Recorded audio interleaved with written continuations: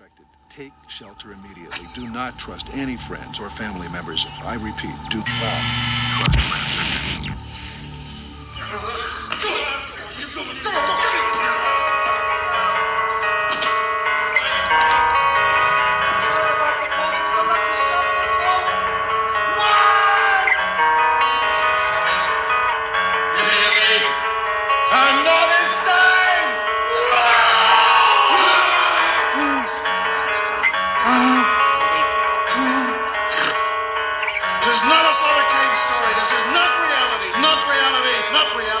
This is reality.